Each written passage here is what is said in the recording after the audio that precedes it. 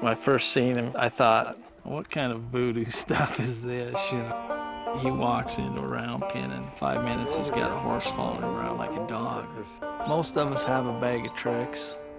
Buck has an arsenal. I'm looking for the horse to learn how to follow and feel. That's operating on a field. See? It's supposed to take that much. Everything you do with a horse, it's a dance. You're always hearing about breaking horses. It's man is stronger than this big animal. We can break them down. Now, I'd touch her here on the neck. I'd say, you find out this flag won't hurt you.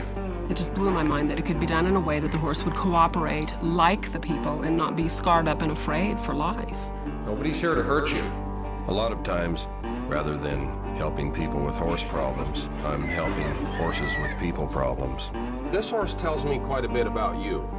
In this particular discipline, if you want to be great, you have to be a sensitive person. That's why so many of the folks that are really good at this are, um, you know, sometimes they're tortured souls, you know.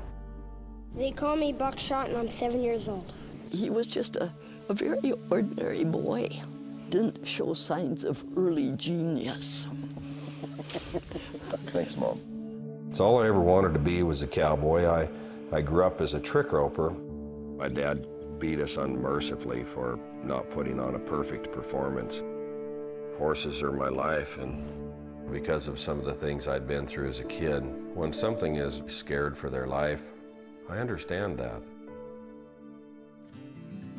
All your horses are a mirror to your soul. And sometimes you might not like what you see in the mirror. Watch out! You can't hold it against him for kind of how his life has been. Maybe there's some things for you to learn about you. Maybe the horses is going to be the only damn way you're going to learn it. Yes, I understand that every life must end. Uh-huh. Boy, do you feel like a fool and kind of like a failure. You know? Oh, it's all right. If you find a way to fit this thing right here, it'll make you better.